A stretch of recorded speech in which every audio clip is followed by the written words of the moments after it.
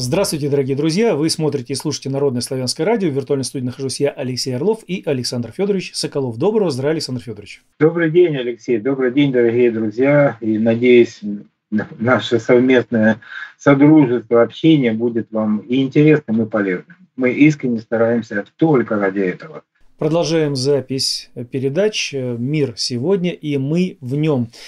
И по ходу у нас начинается вторая встреча, посвященная теме разделения народов. Злободневная тема, кровавая тема, страшная тема, но факт есть факт. И если такое существует, нам необходимо с этим разобраться. А посему, Александр Федорович, начинай. Хорошо, благодарю, Алексей. Ну вот смотрите, друзья, как мы в предыдущей передаче неоднократно отмечали, вот эти вот чужие устроители нашей жизни – они отчетливо понимают, что победить народ на мировоззренческой основе, на э, так называемой политической, то есть тот, тот э, система, так сказать, жизнеустройства общества, вот, которая вооружена вот такими знаниями, о которых мы часто говорим, да, э, и обладающая силой, способностью себя защитить и так далее. То есть эти народы вообще не победить, понимаете? И тогда приходит идея, а как же их вот начать стравливать между собой? Вот сегодня на примере Украины, которая вроде бы как э, это тот же самый народ, э, которому повесили другого названия, причем ему повесили его сравнительно недавно, там лет 100-150 назад, э, которого исторически вообще никогда не было. Вот. И вдруг этот народ начинает верить, что он украинцы, что они вот особые, вот они такие такие и так далее. В итоге, понимаете, получается, что э, этот народ становится как бы разобщенным. Его поделили на название, ему внушили, что он другой, и э, создали некоторые, так сказать, специальные обстоятельства, условия, которые потом пальцем показывают, вот этот, вот этот виноват, он. Вот. И если хоть какой-то э, такой, ну, исторический экскурс сделать, то вот, э, Алексей часто говорит, ребята, нас по сути дела, э, вот, э, ну, как э, население белого человека, да, мы сейчас не о превосходстве говорим, а особых природных особенностях этих людей, и сумма которых на всей планете имеет свое предназначение, каждый из них. Вот. И э, их осталось всего где-то порядка 2%. Понимаете? Еще совсем недавно было 25, там, а в древние времена вообще больше. И вот смотрите, когда этот народ Э, после последней катастрофы, после последнего потопа, э, э, даже та же Велесова книга, которая по как бы 25 тысяч лет последних описывает, да, она расписывает, как этот единый народ шел вот, по северу, потом по Сибири, потом перемещался на юг, Европу там, ну и так далее, и так далее. Понимаете? И получается со временем уже даже то, что нам сегодня знакомо, единый народ вдруг стал там русскими, украинцами, белорусами, литовцами, эстонцами, норвежцами, шведами, финнами, ирландцами, да, там, сербами, хорватами, э, поляками, там, кто там, словаками, там, и, и, и так далее, и так далее. Понимаете? Единый народ, генетически общий народ с той старой древней культурой, единым укладом, единым содержанием, как могучего народа, вот он стал, так сказать, называть себя по-разному. А потом вот эти самые доброхоты начинают, так сказать, втуливать нам вот эти, так сказать, поводы для, для разобщенности, для драки, для споров и так далее, и так далее. И во что превращается эта сумма могучего народа? Вот в эти, так сказать, мелкие огрызки, с которыми делаешь все, что хочешь. И главная цель разделения, она как раз вот именно в этом. То есть могучий народ, способный на великие дела – способный обустраивать пространство по справедливости и по совести, вот, его начинает, так сказать, дробить, начинает внушать ему какие-то там особенности, да, ну вот, и вдруг мы сталкиваемся с тем, что вот, э, были единым народом, а сейчас нам там этот народ рассказывает, какие мы плохие, неправильные, что нас надо там убивать, угнетать там или, или еще что-то такое. Понимаете, вот как, как это получается? Это все равно, что вашего сына, да, вашего ребенка, который, ну, предположим, поехал куда-то учиться, ему там внушили, что вы неправильный там отец, неправильный родитель, и вот это, вот это, вот это вот плохо, и поэтому с вами надо драться и бороться. Во что превращается такой род? Ну, сами понимаете. Вот как бы по поводу цели разделения, Леш, что, что бы ты добавил?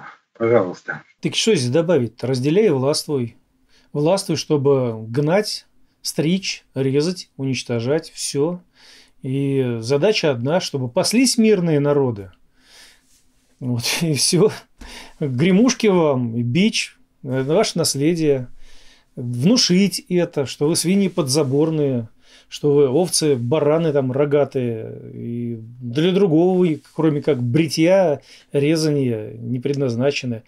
Вот какая цель разделения. Ведь э, когда брата на брата наускивают, это говорит о том, что брат которого наускивают, не замечает других проблем. Для него вот она главная проблема, вон он тот подлец, вон он тот негодяй, с которым надо сражаться. И поэтому он не видит, как у него из кармана достают его деньги, воруют его землю, выкидывают его сородичей за пределы существования. Он не увидит это. Все. Ему это становится неинтересным.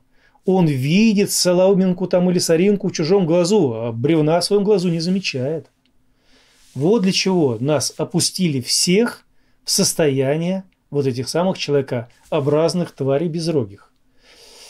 Других целей-то у них нету. Потому что большое что-то сожрать тяжеловато, а вот торт по кусочкам растяпанным проще. Поэтому цели разделения одни. Каждому внедрить свою якобы культуру, свое якобы наследие – свои якобы цели и друг на друга направить. Теперь зачем им тратить свои усилия, проливать свою кровь, как, как-то каждого по, по одному обманывать, когда здесь они скопом все обмануты. Эта страна, эта страна, это княжество, это княжество. Ну и мочат друг друга в сортирах. И все. А эти руки потирают. Это было и сто лет назад, это было и 200 лет назад, и 300. Вот когда появилась вот эта самая чума, она появилась уже здесь, э, на, нашей территори... на наших территориях Руси, не 100, не 200, не 300 лет назад. Намного раньше она появилась.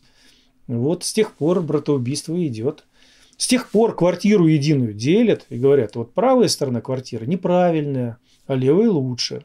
А левый, наоборот, говорит, правая неправильно, или там, или левый, ну, вот, вот таким вот образом. Все очень просто. И, казалось бы, родичи, живущие в одной квартире, смотрят, окрысившись друг на друга, и стремятся уничтожить тех, которые неправильно. Вот они цели разделения. Других целей нет. Хорошо, понятно, здорово ты объяснил. Смотрите, друзья, теперь давайте попытаемся посмотреть и понять, а почему вот это все становится возможным. Да? Но опять же, вернемся к самым банальным, самым житейским примерам. Да? Ну вот сегодняшние дети, молодежь, э, ну вот я последние разы сколько бывал в Москве, в метро едет, да, ну, ну это просто вот для меня человека, который э, с детства, там, 50-е, 60-е годы, мотался по улице, так сказать, играл в эти бесконечные игры, рвался в библиотеку, читал постоянно книжки там и так далее, и так далее. А эти сегодня уткнулся в эти смартфоны, и все. Вот как бы, понимаете, э, не поймешь, кто хозяин смартфона. Смартфон хозяин человека или человек уже, так сказать, перетек своим сознанием туда и там, и там живет. И вот э, когда объясняешь детям, что у нас этого не было, они начинают смотреть на нас, вы что, отстой полный, что ли? Вы что, дикари? Как такого не могло быть, у вас этого не было? Понимаете, вот внушается ценность вот этих, так сказать, так сказать, блестяшек, вот этих новых, так сказать, инструментов жизни, да, и на основе этого э, создается, так сказать, такой, ну, как бы образ э, какого-то особенного человека, который без этих блестяшек, без этих игрушек вообще не человек, да, и раз вы старые там или какие-то там другие не, не имеете этого всего, ну вы отстой, вы, вы, вы вообще не нашего племени, понимаете? И вот таких мелочей очень много, то ли в моде, то ли в укладах жизни, то ли в этой э, какой-то э, вот этих так, тиктокерах там, современных, этих блогерах, которые такую чушь на раз несут, что, понимаете, но они становятся ценностью, они становятся модными, и кто этого не разделяет, все, это и ты отстой там и так далее. Вот, казалось бы, чепуха, да, вот это так сказать, игра на этом публичном пространстве, то ли в интернете, то ли в этих ток-шоу телевизионных, то ли еще что-то такое, понимаете, вот это все э, становится как бы, ну, как бы таким э, полем, которое становится якобы обязательным для всех. Ну, вот э, мы, так сказать, взрослые люди, которые обладают хоть каким-то пониманием естественности природы, негодуем по поводу того, что у Запада это вся эта дрянь связана с гендерностью и так далее, и так далее.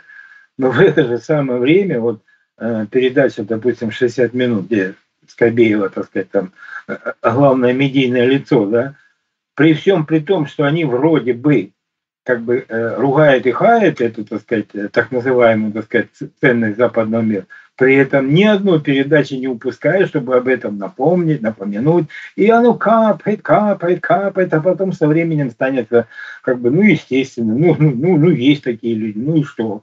Понимаете, вот это та, э, так сказать, пятиступенчатая ступи, э, э, сказать, система, э, так сказать, окна Авертона, так называемая. Понимаете? А мы, когда, э, так сказать, начинаем это все слушать, поддаваться этому, разделять эти, так сказать, ценности и так далее, и так далее. И получается, что да, вот э, на этих мелочах, внедряя в наше сознание, противопоставляя нас и других там, э, с нами там соседей там или еще что-то такое, или с нашими детьми теми же самыми, понимаете? Вот оно, пространство, где это уже начинает происходить.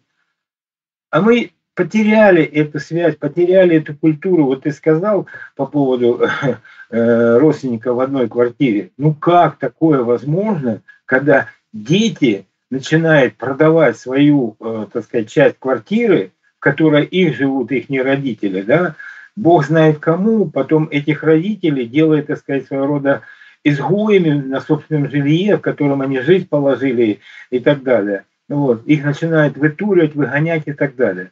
Понимаете, вот это в одной семье. Родители и дети. Мать, которую, так сказать, родные дети, так сказать, выгоняют на улицу, потому что им, видите, в какой-то момент нужны были деньги. Понимаете, это в нашем мире, таких фактов просто тьма.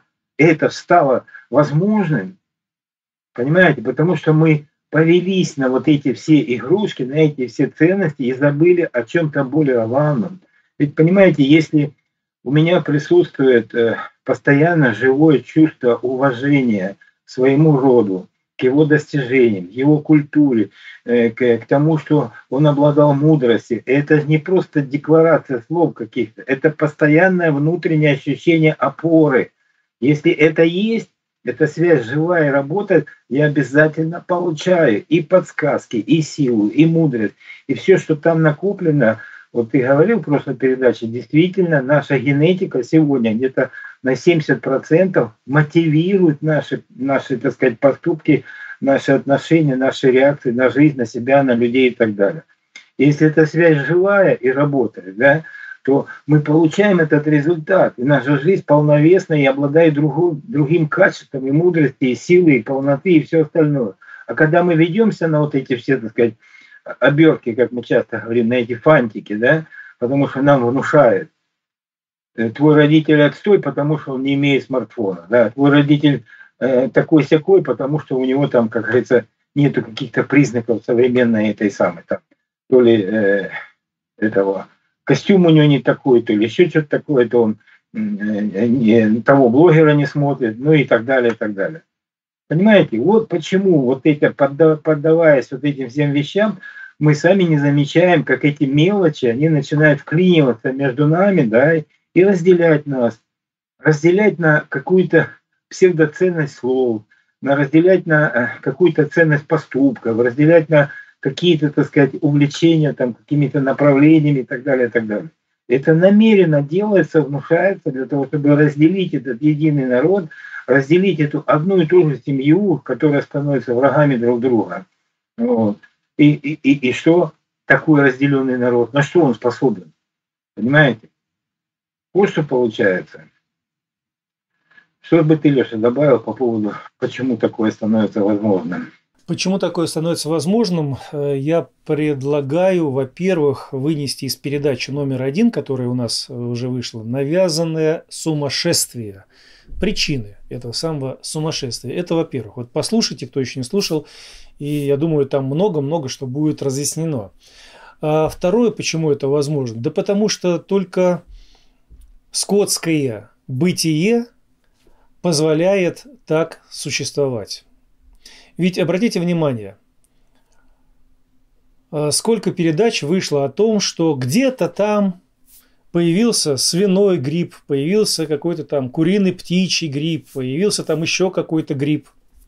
И показывают, как массово, массово за один день тысячи вот этих хрюшек, тысячи вот этих вот птиц просто вот рубят, рубят, рубят, рубят и на свалку, на свалку, на свалку. И что делают те, чьи сородичи вот сейчас идут под нож. Они вот так вот стоят и смотрят. Ну, хрюшки там в угол забьются, смотрят и смотрят. Как берут поросенка, хрясь ему там в сердце, хрясь ему по горлу, и на, на свалку, и на свалку. Куры стоят, смотрят, их там выдергивают по одной, бошки им отрывают. Они клюют в этот момент, что-то там едят, выбирают, смотрят, ой, там кого-то поймали. Ну да, бывает, и опять клюют. Вот почему это стало возможным. Потому что нас опустили до состояния животного начала, где самосохранение важнее, чем осмысление будущего своего рода, будущего нашей страны общей, будущего всей России, всей России, всей Руси. Русь в широком смысле этого слова – Потому что сейчас слышат украинцев, режь русню, там, убивай русню. Ребята, так вы же тут только что мне доказывали, что Русь пошла из Киева. Кого вы резать-то собираетесь? Себя, что ли? Если вы доказываете, что русские это какие-то мокшие, там не пойми кто, а мы тут славяне, мы тут Русь состоящие, и тут же режь русню. Ребята, вы там разберитесь, у вас как там полушария правое, левое работают. Кого вы резать собираетесь? Вот это вот разделение в голове прежде всего. И причем разделение настолько очевидное, построено не складушках, что иногда я так берусь за голову, говорю, я где попал вообще? Где я нахожусь? Куда меня опустили? Это, это нормальные вообще человекообразные существа? Это человеки кто? Но как такое можно заявлять, если ты сам к этому относишься? Как может быть, что человек с украинским паспортом, с украинским военным билетом, говорящий на чисто русском языке, с русской фамилией, ну, с русской с точки зрения из вот, европейской части России, стреляет в россиянина, у которого россиянский паспорт РФ, у которого украинская фамилия, и который разумеет э, украинскую мову. А русский человек, ну, россиянин имеется в виду, с русским паспортом, но с украинской фамилией, стреляет в украинца с украинским паспортом, у которого русская фамилия. Как такое может быть? Как может быть, если боец ВСУ заявляет, я буду резать русню на чистом русском языке, с русской фамилией, но при этом я хочу говорить на русском языке, это мой выбор – но при этом в его подразделении кричат «бей всю русню», «режь всю русню» и не будем говорить на русском языке. Понимаете, меня, я не понимаю, куда я попал, что происходит вообще, ребята. Как может быть такое, что в Украине с 2014 года, ну еще и раньше, кричат москаляку на геляку. Но при этом никто в России никогда не сказал «режь украинца», «убивай украинца». Как может быть такое, что где-то там кто-то по-русски стал говорить, на него смотрят косо? Да, говорят, что нет, это не у нас. Да, такие случаи в те времена были, может быть, не на каждом шагу. Да и сейчас, может быть, где-то там спокойно говорят по-русски. А в России при этом на центральных площадях поют украинские песни, и все радостно, все хлопают. вот это вот вонючее Евровидение, когда появилось, сколько русских людей голосовало за украинцев. Я не говорю сейчас про то, насколько это э, там заднеприводное вот это вот э, человеконенавидчество Евровидение, насколько это чернуха, порнуха и так далее. Я просто говорю про то, что когда русский человек смотрел, э, слушал украинцы, голосовали за украинцев. Сейчас, казалось бы, вот разгар вот этого военного конфликта, и показывают по центральным каналам России о том, как колядки поют на украинском языке, и ни у кого в голове из русских людей не возникло ощущение, что это что-то плохое. Все радостные, все довольные. Это наш единый пласт культуры, это наш единый язык с какими-то наречиями, с какими-то родовыми дополнениями но это наше. И никто из русских людей не говорил, так, вы что там эту хохловщину тут разводите, что это тут такое, давайте вон отсюда. Нет, все довольны, все радостные. Здесь на русском спели, тут на украинском, тут молдавский, тут белорусы подключились, спели. Всем радостно и хорошо. В России как? В России во время разгара вот этой вот самой братоубийственной бойни такое возможно. А в Украине появляется, коли ты там чебурашку смотришь, вали в русню. Ну как такое может быть? Как можно сносить в Одессе памятник Екатерине и Дюку, которые эту Одессу обосновали? Но если вы не согласны с Екатериной, ну, ладно, это ваше несогласие, но она же основала тот город, в котором вы живете. И если уж так вот дальше идти, так снесите вы всю Одессу, но вы же не согласны с Екатериной. Ну, всю Одессу снесите к чертовой матери. Она же это организовала. А сколько еще городов, которые тоже, вот эта самая русня, вот эта самая ненавистная царская, произвольная там какое-то супостатное, я не знаю еще как там назовите, правительство построило на территории современной Украины. Так снесите вы эти города. Чего же их переименовываете-то? Они же были основаны-то этим самым императором. Сколько было построено во времена ненавистной вами советской власти? Сколько памятников вы уже снесли вот этим самым ненавистным героям Советского Союза, которые имеют корни украинские? Сколько снесли?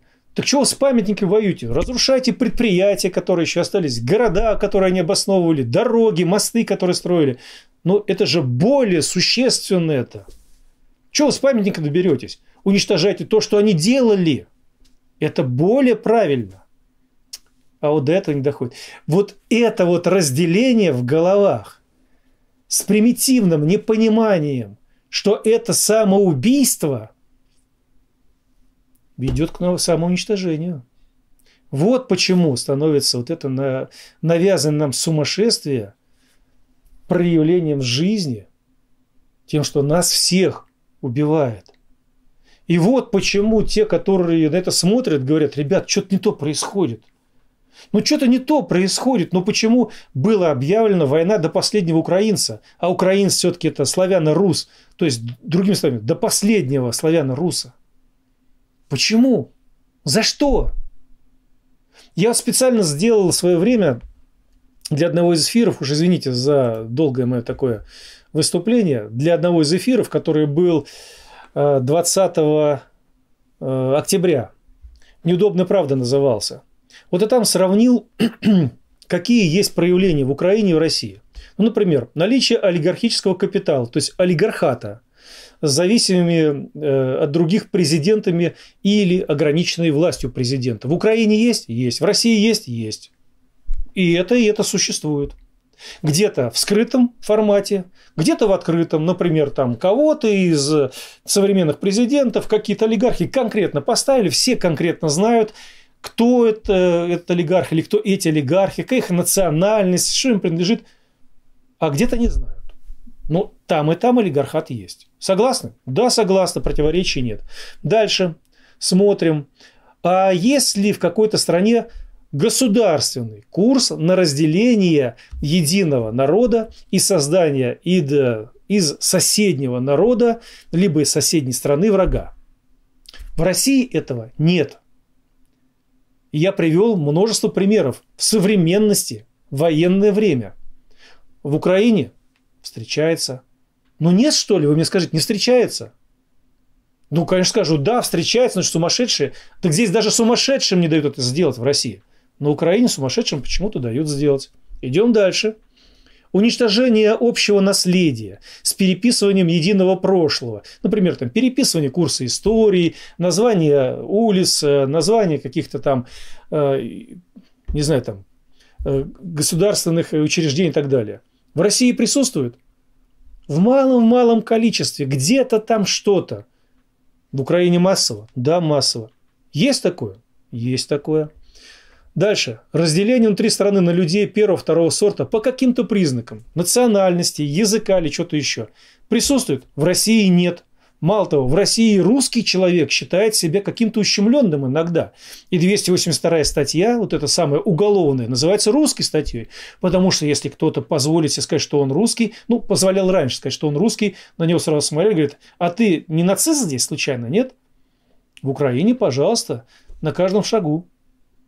Мало того, вот пример очень простой. Э, у одного магазина человек, э, ну, не славянской национальности, ударил по моей машине, машину, ну, дверью своей машины. Вместо того, чтобы подойти сказать, слушай, отъехай, мне тут неудобно, могу зацепить, да? Ну, просто же. Я бы отъехал, но он открывает дверь, бабах, я вылезаю, говорю, слушай, что ты делаешь? А что так поставил? Говорю, ну ты же мог сказать. Нет, что ты так поставил? Начинается разборка. Я говорю, слушай, я на своей земле хочу, чтобы был. Ты националист? И орет матом, стоит, кричит и так далее. То есть в России приехавших людей как-то воспринимают как людей, которые могут свой бизнес там делать, еще чего-то, еще чего-то. И попробуй что-то скажи ему. 282 статья. Если бы я ударил этому человеку в пятак, я бы оказался виноватым, потому что меня винили в том, что я его унизил с точки зрения национальности или что-то еще. Понимаете, я слушал эту матершину, вот эту крики, вопли, не произнеся ни одного ругательного слова. И там даже женщины на остановках кричали, да успокойся, что ты кричишь, тебе неплохого слова не сказали.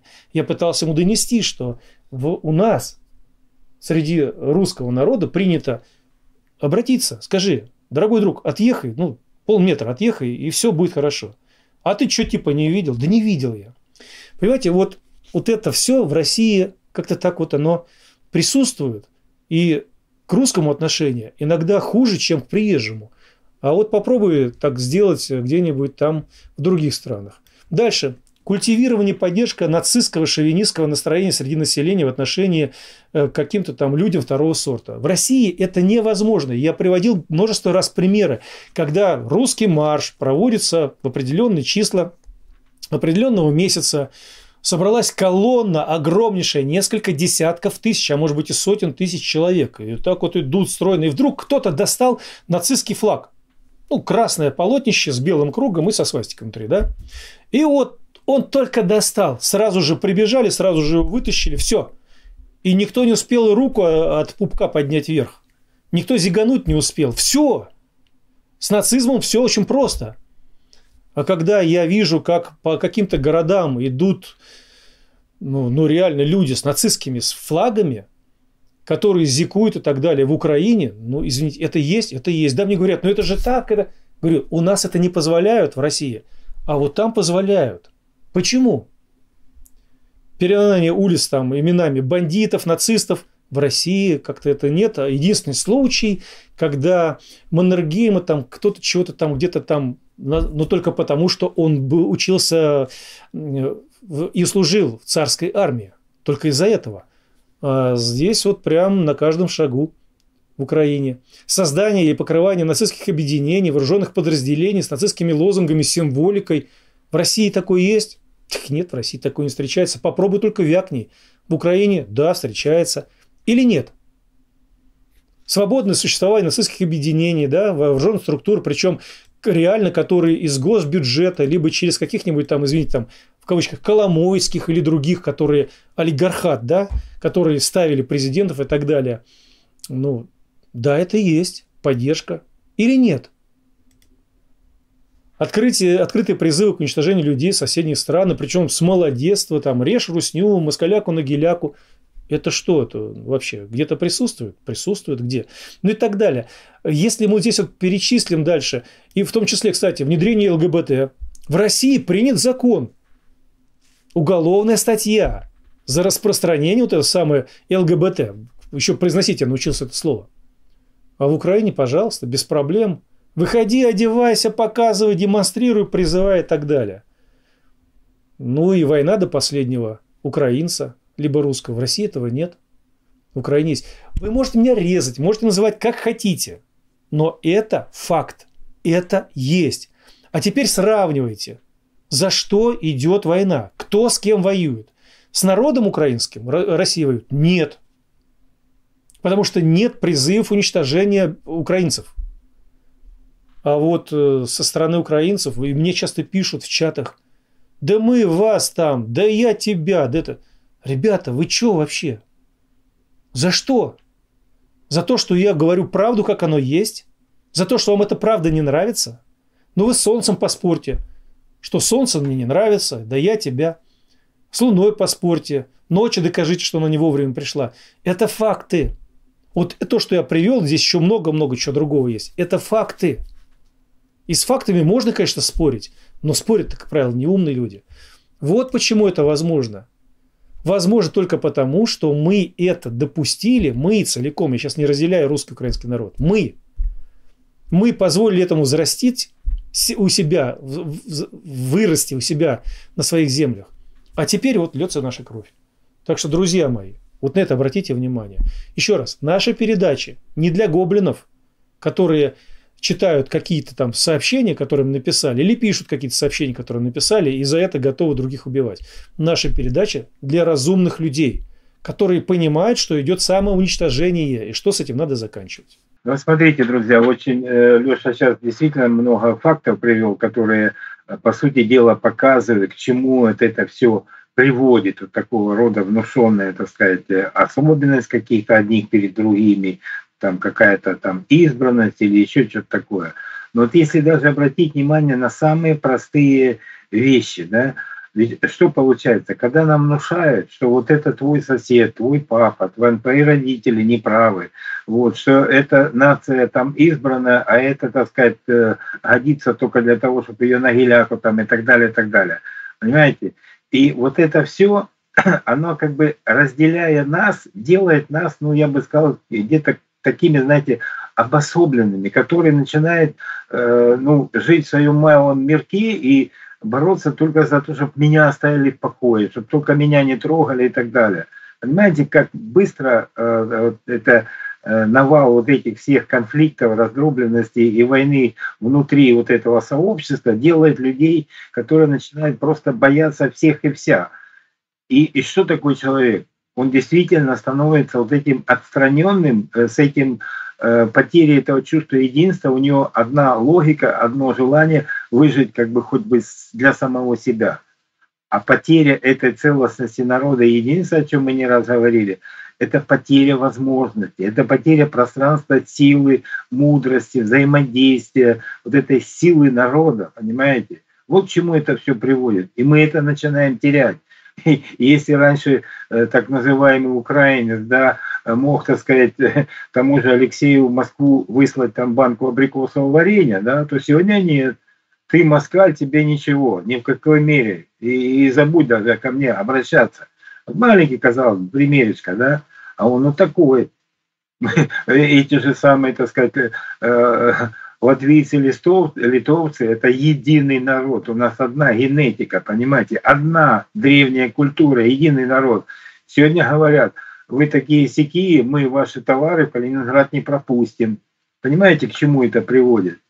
И когда у нас внутри вот это э, не желание, так сказать, э, бороться друг за друга, как единый народ, который обладает мощной силой, достоинством, честью и возможностями построить все, что угодно, решить любые проблемы совместно, да, как было в Советском Союзе, ставит цель, на нее, так сказать, все, все ресурсы, все, вся воля, и всего добивались. Такие проекты поднимались, ой-ой-ой. Вот. а, а теперь, вот когда нам вот это все внушили, это те ходатые, да, разделили нас, то что уже ребенок не может обратиться к родителям, потому что где-то их послал, где-то их сделал бедными, где-то, так сказать, отказался от них, потому что они старые, негодные, не нужны ему. Как он может к ним обратиться, к родителям, чтобы посидели с его внуком, там, предположим, э, оказали какую-то помощь таким мудрым житейским советом и так далее? Да никак. Понимаете, она казалось бы мелочи, но вот эти мелочи складываются, они теряют в нас человека прежде всего. Вот что происходит. И вот, Леш, мне бы хотелось э, еще как бы вот такой момент рассмотреть. Э, вот то, что мы в предыдущей передаче, э, каким образом вот это чувство внутреннего эгоизма, да, и гордыни так называемой, какую роль она играет вот в этом разделении народов? Как на твой взгляд? Есть тут какая-то взаимосвязь? Или это просто надумалось? Как ты считаешь? Ну вот в чем дело. На мой взгляд, конечно же, когда человеку навязали что-то такое сверхъестественное и раздули в нем гордыню, то это означает, что он себя начинает ощущать каким-то сверхъестественным, что ему все должны.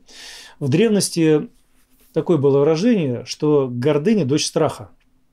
То есть человек, который живет все время в страхе, пытается достичь чего-то такого, что его тушку, его тельца поместят в безопасное, либо что его тушка тельца окажутся, вернее так, в безопасном месте, в безопасном состоянии, в безопасном положении.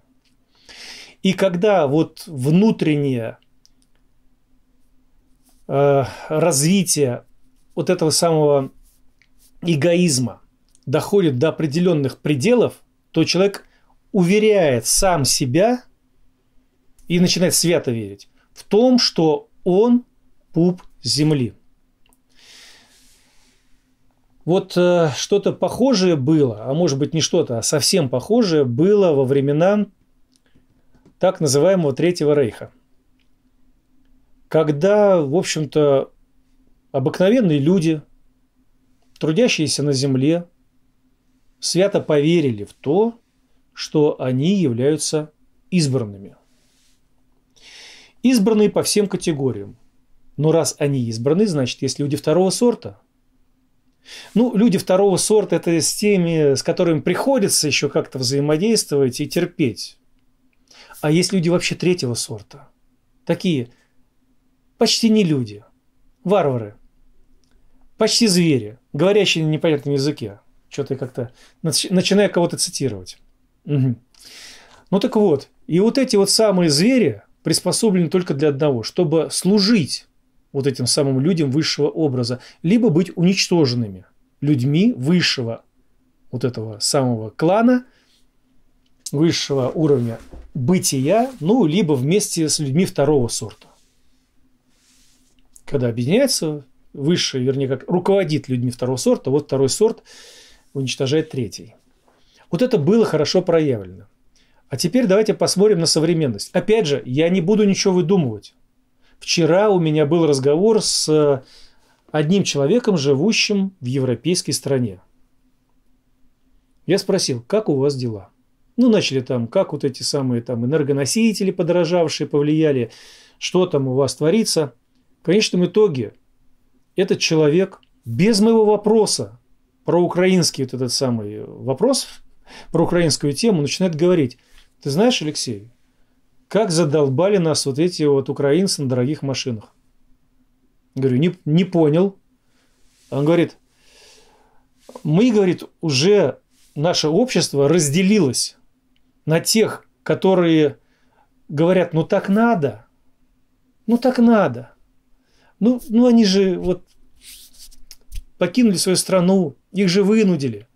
Те, которые молчат, которые просто терпят, и те, которые уже начинают ненавидеть.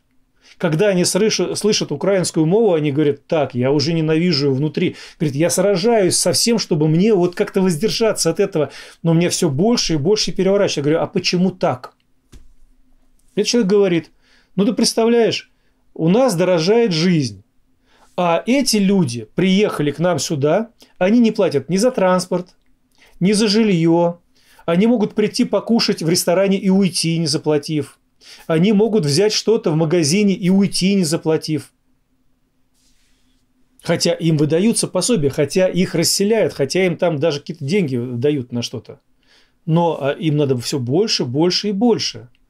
Мало того, некоторые из них ведут себя так, как будто бы они здесь, на этой земле родились, здесь все время жили, это земля их, а мы здесь, как будто пришлые. Несколько раз я слышал в свою сторону вот такое «я украинец», понимаешь? «Я украинец, так что иди гуляй». И говорит, у меня внутри, когда я слышу украинскую речь, у меня сразу внутри что-то съеживается, и у меня какое-то противостояние возникает. Мало того, стали появляться факты о том, что внутри нашей страны формируется, как он сказал, такая мафия украинская, где они уже под себя начинают подминать какие-то там мелкие хозяйства, начинают уже там кому-то рассказывать, как жить, как не жить. И самое это интересное, а это человек, который представляет страну постсоветского э, вот этого содружества, он говорит, у нас в 90-х годах что-то подобное было. Когда вот эти бандиты стали появляться и делить зоны ответственности, и потом друг друга перестреливали. Но в конечном итоге они стали переходить уже в бизнес, в олигархат и так далее. Я говорю, так в России то же самое было. Говорит, ну вот, движемся, значит, по одинаковому. Так вот, такое ощущение, говорит, у меня складывается, что сейчас вот эти самые ребята на дорогих машинах с украинскими флагами и говорящие на украинском, демонстративно говорящие на украинском языке, они занимают пространство с точки зрения вот таких вот бандитов. И многие мои знакомые приходят говорят, слушай, мне становится страшно жить в своем городе, мне страшно жить становится в своей стране. Потому что если я что-то скажу против вот таких вот не Украины, не украинского народа, а против вот этих вот мерзавцев, которые себе много позволяют, мне пришьют какое-то дело, что я там, агент Кремля, и это уголовное будет дело. То есть у нас 282 статья в России, русская статья, а там сейчас свои статьи, которые вот для избранного народа, который себя посчитал избранным народом, либо представителями избранного народа, я не знаю, как это назвать, начинает себя вести по-хамски. Это, еще раз говорю, человек, который без моего вопроса про Украину стал это рассказывать. То есть у него настолько это уже наболело все. Я все задал вопрос, как вы живете, как у вас там кризис э, энергетический, электрический, ну и так далее, да, там бензин, как и так далее. А он перешел на эту тему. Я просто сидел и слушал. Сидел и слушал этот крик души. Вот что такое, когда какому-то человеку в голову включили программу, что он круче другого.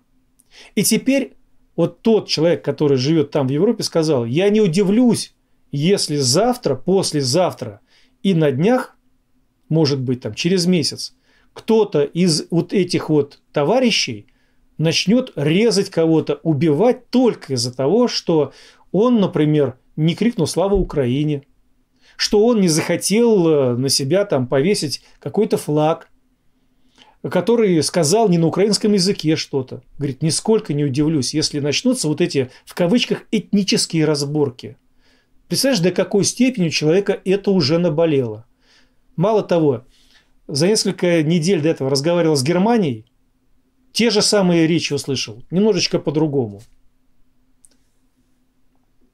Это что получается-то? Это получается, что какому-то народу в течение нескольких лет в голову вкладывали, что ему можно все. Может быть, части народа в голову вкладывали. Не знаю. Но суть в том, что это проявлено. И простые люди об этом заявляют.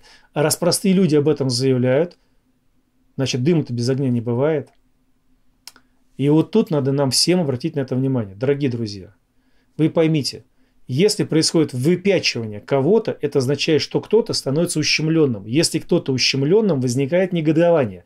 Если возникает негодование и недовольство, это приводит к разборкам на физике. Вот сейчас разборки на физике идут в отдельно взятой стране, в отдельно взятой территории. Но теперь представьте, что эти негодования разольются по всей Европе. что будет, если Европа, насыщенная выходцами из э, арабского мира, почувствует себя ущемленными. Ведь посмотрите, что творится там в Париже, в Германии, когда выходцы из арабского мира чем-то недовольны. Они берут камни, берут железки, деревяшки, палки и громят. Громят все, что связано с теми, кем они недовольны. А теперь представьте, что вот это сейчас, то, что касается украинских товарищей на дорогих машинах, либо просто блатных каких-то из Украины, перейдет в негодование вот этих самых выходцев, например, там из арабского мира, либо цыган, либо еще кого-то. Что с вами будет? Элементарно, вы себе это просто представьте. Это здесь вот иногда терпят, а вот там уже терпеть не будут. Там все проще, намного проще. Менталитет этих друзей из Ближнего Востока настолько прост, что встанет вопрос, жизни или смерти. Подумайте об этом. И вы можете мне доказывать, что я что-то придумал, что я какой-то там э, противоукраинец или там прокремлевец какой-то. Если вам не нравятся те факты, которые я привел. Но жизнь все расставит на свои места. Пока не поздно. Подумайте, что происходит, почему там уже начинают так кричать. Почему там вот это уже происходит вот среди простого э, населения? Почему появляется ну, на первом этапе какой-то такой дискомфорт, ощущение неприязни, переливающийся в ненависть? Это жизненные факты. Да, Леш, вот э, ты такие убойные примеры привел, что не убавить, не, не прибавить, понимаешь? Все это действительно вот э, сегодня факты нашей жизни. И смотрите, друзья, вот то, что мы сегодня перечислили, обратили ваше внимание на некоторые моменты, все это говорит о пагубности того, что разделенный народ – да еще как, как части которого внушили, что он там чего-то какой-то избранный, он там пуп земли, э, основатель цивилизации, что у него Христос родился там или еще что-то такое, да, вот э, каким образом вот это все становится, так сказать, вообще неудобным для э, и соседей, и для всего человечества. Когда мы в своих родах, в своих семьях разобщаемся и а, а, отстраняемся от этого и негодования, и нежелания, так сказать, это все ладить и так далее, и так далее. Это все приводит вот к тому, что мы становимся мелкими единицами, с которыми вот те устроители, о которых мы говорили, могут сделать все, что угодно. Понимаете, ну нету будущего у такого народа. Вот. И вот эти факты, которые мы сегодня привели, они ну, настолько ярчайшие, показательные, что, ребята, ну, ну пора уже включить вот это вот дело для того, чтобы понять. Понять, что мы тогда только народ, когда мы едины, когда у нас есть общие цели, когда мы даже ошибаясь, так сказать, из чувства любви и сострадания к нашим общим возможностям, прощаем, поддерживаем друг друга, помогаем это все понять, обрести поддержку, помощь оказываем. И это все начинает, вот, понимаете, вот это ощущение вот у нас в Донбассе, особенно в 2014 году, когда все стало валиться и рушиться. Я, допустим, целый год пенсию не получил. Мне, сейчас даже странно, а как я выжил вообще в это время? Вот как мы, простые люди, друг другу помогали в самых обычных, в самых простых вещах, и мы выдержали – только потому, что было это единство. То есть вот в этот критический момент что-то в нас просыпается, как у русского народа, которое ищет этой возможности быть единым, быть вместе, вместе решать эти сложные периоды и сложные задачи. И только так выживают народы. Только так они получают будущее и развитие новых возможностей. По-другому не получается. И вот это очень важно, то, что мы сегодня говорили об этой разобщенности, к чему она приводит, каким фактором, э, так сказать, что, что, что в результате этого получается. я искренне надеюсь, что мы с Алексеем сегодня обратили ваше внимание на эти вещи, и это поможет вам просто внутри себя задуматься. Дело не в том, что я могу найти любой повод для там кого-то тыкнуть пальцем, обвинить, там, обидеться на него или еще что-то такое. Не в этом дело. Вот. А дело в том, что надо искать содружество, искать возможность действительно быть вместе, быть у той объединенной силой, которая способна решать любые задачи. Ну, то же самое, но вспомните, вот в 1933 году, когда э, Гитлер пришел к власти, когда они создали эту свою партию, да, буквально 33 год, там через, получается, сколько там, через э, 8 лет вернее, даже меньше, через 39-м, через 6 лет началась Вторая мировая война. Вот возомнили они себя сверхчеловеками и решили, что весь мир им должен, всех надо подчинить и так далее. Ну, доперлись они до Сталинграда, да? В итоге к чему это все привело? Чуть не исчез этот весь народ, так называемый немецкий, да? Все превратили в руины эту страну. Самую развитую страну в Европе было. Мы что, для этого живем, чтобы очередной раз друг друга превратить в пыль, вот в это, так сказать, животное состояние, чтобы потом с какой-то странной больной надеждой смотреть в небо и, и что-то там просить, молиться и так далее. Да нет, конечно, у нас есть масса других достоинств человеческих, на основе которых мы можем быть и людьми, и народом большой силы и больших возможностей. Вот на это мы и хотели обратить ваше внимание. В заключение, Леш, что ты добавишь? Трудно добавить что-то уже к сказанному, я приведу простой пример, жизненный опять же. Если прилетят сюда инопланетяне, ну давайте представим так, прилетели, вылезли из своей тарелочки к первому встречному, подошли и попытались с ним общаться. Вот все, что они получат от первого встречного, будет являться основой понимания, как и кем, как живут и кем являются все жители Земли. То же самое сейчас происходит и в отдельно взятых странах. Если в какой-то стране какой-то мерзавец начинает себя вести по-хамски, то по отношению ко всем жителям этой страны простые люди, которых он обидел, будут иметь негативное отношение. Вспомните, сколько было так называемых русских мафиози, которые в перестройку, либо в конце перестройки, нахапав что-то в России, ломанулись на Запад. И как простые люди отзывались об э, русских людях. Причем тогда для европейца разницы не было. Украинец, белорус, русский, казах. Всех называли русскими. Абсолютно.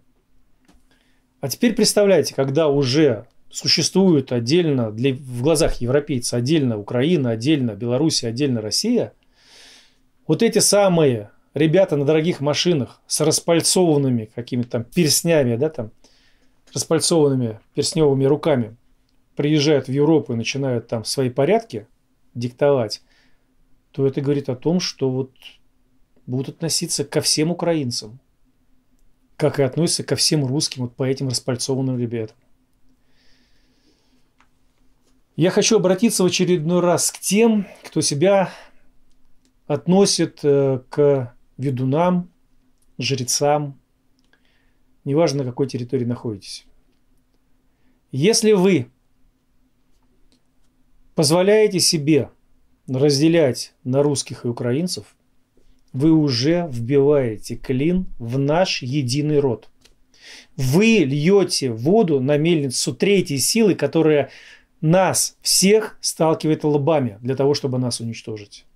И когда в каких-то там предсказаниях, гаданиях, э, числоведении, картах Таро, ну, я не знаю, там где-то еще, слышу, вот это у нас, это у вас, неважно с какой стороны идет, с русской либо с украинской, знайте, что я воспринимаю вас как либо дураков, а это означает, что вы никак не ведуны и не жрецы, либо как наймитов бестолковых, которые разделяют единый наш народ для того, чтобы его уничтожить. Ну и самый-самый простой пример из прошлого. Как можно в любой ситуации оставаться человеком? забыл название концентрационного лагеря в Австрии, где Карбышева замучили. Вот там был бунт. После уже смерти Карбышева был бунт. И около 500 человек своими телами, ложившись на колючую проволоку, те, которые не могли идти, вот те ложились на колючую проволоку, отдавали свои вещи, свою обувь, там люди босиком, там многие были, прежде чем умереть. Вот кидались на эту колючую проволоку, которая под напряжением была, погибали, чтобы по их телам выбирались на свободу. Вот 500 человек почти выскочил из этого лагеря, где-то там кого-то перебили из охраны. На них была устроена охота, как на зайцев.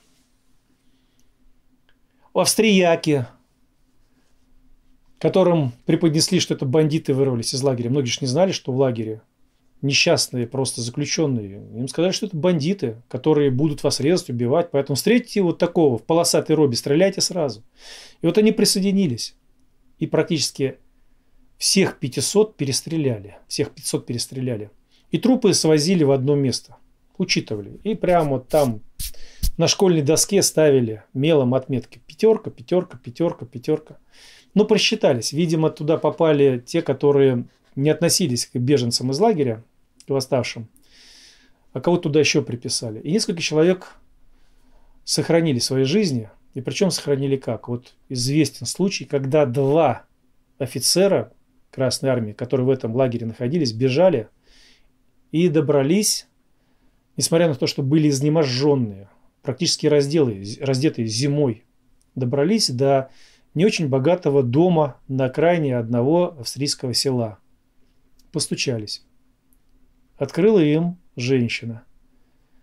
Они сказали, что они переводчики. Ну, по ним-то было видно, какие они переводчики изнеможденный, трясущийся синими губами. Она говорит, я вас все знаю, заходите. И это была мать многодетной семьи. Пятеро детей воевали на Восточном фронте. Ее пятеро детей находились в войсках вермахта. И дочери, которые остались здесь, вместе с этой матерью помогали этим людям выжить. Дали им одежду, накормили, прятали на сеновале – и когда были дополнительные облавы, они чуть-чуть не погорели, когда они шли в церковь и вдруг увидели, что войска, ну не войска, а подразделения вот этих вот проверяющих в большом количестве приехало в их село и пошли в их сторону, в их дому, они поняли, мама сказала, ну все, это наш конец. Но обошлось. И потом вот эта дочка, которая выжила, как она рассказывала, как она помогала, это, конечно, страшные вещи. Но самое это главное, это было в 1944 году, война скоро закончилась. И насколько удивительно было, когда все пятеро братьев вернулись живыми с Восточного фронта. А многие те, которые стреляли в тех, кто бежали из этого лагеря, получили похоронки. И существует даже фотография, на которой эти пять братьев, мать, девочки и вот эти два советских заключенных, советских офицера на одной фотографии находятся. Запечатлены. Вы представляете, что это такое? Что такое быть человеком? Что такое понимать промысел Божий? Что такое понимать, что такое совесть? Что такое искра Божья? Вот это проверка на человечность, которая в те времена многие не прошли. И сейчас такая же проверка на человечность идет в наше время. Задумайтесь об этом. Задумайтесь, пока не поздно. Ибо когда в народе человечность и совесть погибают, они вместе с собой в могилу забирают этот народ. Давайте жить человеками – как это завещали наши великомудрые предки. На сим я с вами прощаюсь. Желаю добра. Увидимся и услышимся. Быть добру. Так точно, друзья. Очень душевная такая человечная концовка. И задуматься каждому стоит. Каждому. Иначе мы не будем народом. Быть добру.